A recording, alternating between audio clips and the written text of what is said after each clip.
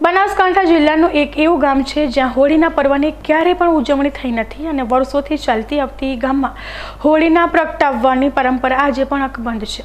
દેશભરમાં જ્યારે ધામધૂમથી રંગોના તહેવાર એવી હોળીને ઉલ્લાસભેર ઉજવવામાં આવે છે. અસત્ય પર સત્યની જીતનો આ તહેવાર દેશભરમાં ઉજવવામાં આવે છે. તો શા માટે છેલ્લા બસો વર્ષથી આ ગામમાં હોળી પ્રગટ થઈ જ નથી? તો જોઈએ અમારો વિશેષ અહેવાલ.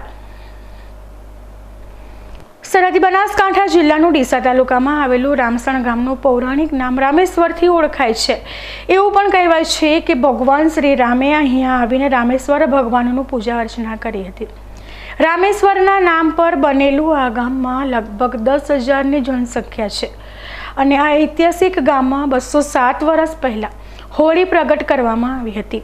પરંતુ તે સમયે અચાનક ગામમાં આગ લાગી ગઈ હતી. જેનાથી આ ગામમાં રહેતા લોકો ડરી ગયા હતા અને આગ કેમ લાગી તેની લોકમાન્યતા હતી.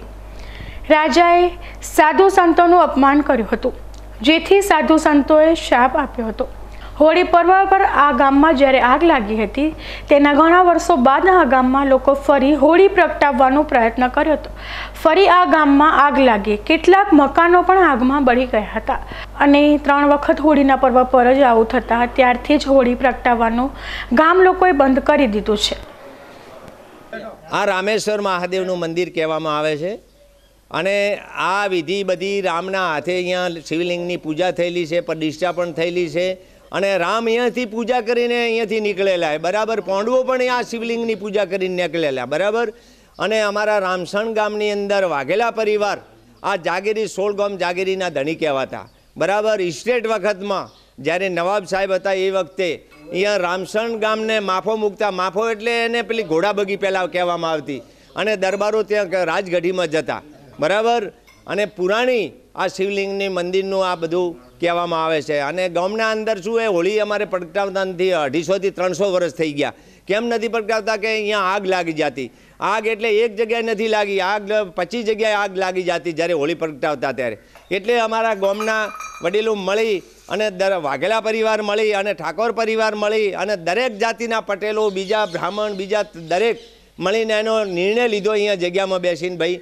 કે આપણે હોળી પ્રગટાવવામાં કેમ નથી આવે આપણે આગ લાગે. એટલે પછી આ લોકો કોઈ જ્યોતિષને બોલાવીને પૂછપરછ કરી કે ભાઈ, આ રીતે આ ભગવાન રામના હાથે બધી વિધિ થયેલી એટલે હોળિકા પ્રગટાવવામાં આવતી નથી.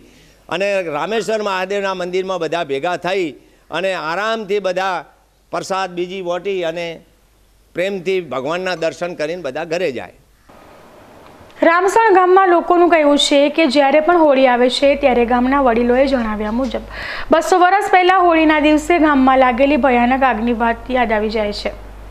અને આજે પણ ગામના લોકો હોળીના દિવસે એક શ્રીફળ મૂકી બાળકોને ઢૂંઢાડે છે.